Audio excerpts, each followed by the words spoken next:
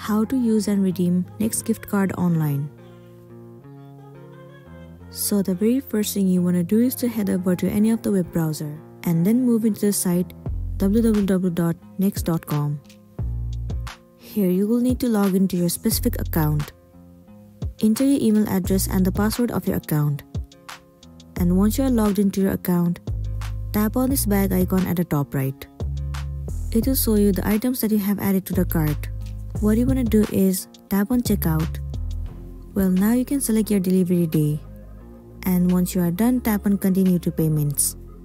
Well, in this page, you'll need to enter your card informations and then make the payment. And then over here, you'll find the option where it says gift card or voucher. Tap on it.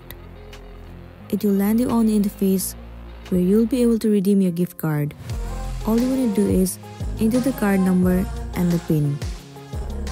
Once you have entered, tap on add gift card and then your gift card will be successfully received and you'll be good to go. So that's it and this is simply how you can use or redeem Next gift card online.